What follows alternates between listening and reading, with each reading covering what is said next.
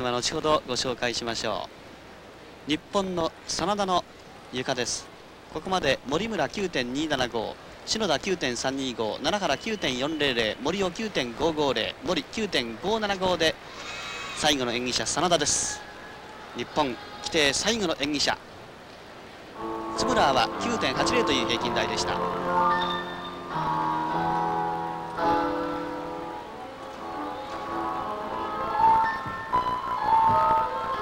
大きく見せました。手足がなくスケールが大きく見える真田。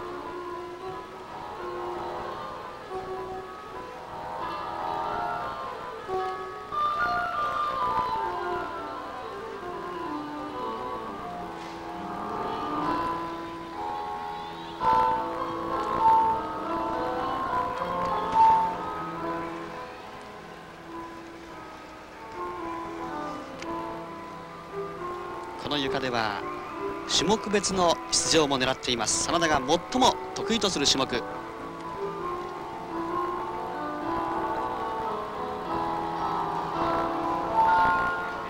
153センチで41キロ。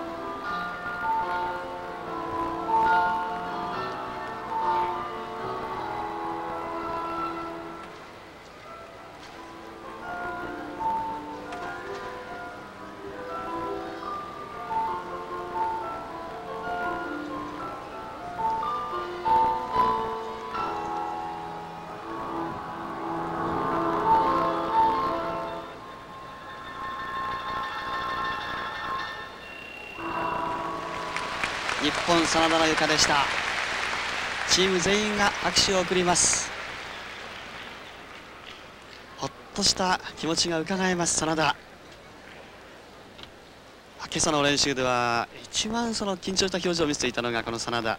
やっぱりオーダーいましてもあの自分が最後という種目が2種目ありましたので平均台床責任感じていたんでしょうね。そうかもしれませんね。ええ。しかし思い切りのいい演技だったんじゃないでしょうか？そうですね。なかなか良かったですよ。